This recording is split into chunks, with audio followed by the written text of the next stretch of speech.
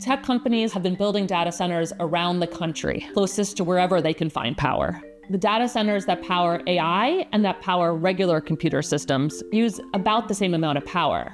But that's about to change. The government estimates that because of the growth of AI, the amount of power data centers use in America could triple by 2028. Data centers are these huge warehouse sized buildings, multiple football fields large, the foundation of a data center is what's called a GPU, a graphics processing unit. GPUs go into computers, which are then slid into racks stacked one on top of the other. And there's rows and rows of these packed into data centers. Because a GPU runs so many calculations at once, it uses a lot more power, about four times more power than a traditional chip. I visited a data center in Austin run by a company called Cirrascale.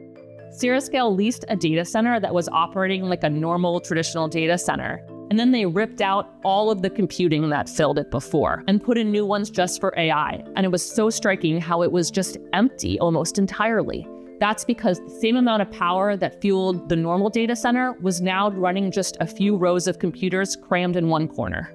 If they were to fill the data center with AI chips, that amount of power isn't even available.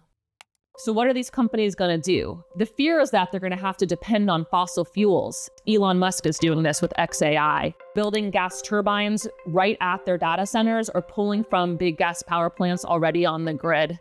Because it's the easiest thing to do, it's cheap and available right now. These companies have all made promises and say they really want to use clean energy, like nuclear energy. They like nuclear power because it works around the clock, unlike solar or wind power, but there's not enough available right now. So now we're seeing Microsoft, for example, trying to revive Three Mile Island, the nuclear facility in Pennsylvania that had shut down after a meltdown. The demands are so great that they're betting on all kinds of new technologies, smaller nuclear reactors that are easier to build, nuclear fusion plants, batteries to make it so that you can use solar and wind power around the clock.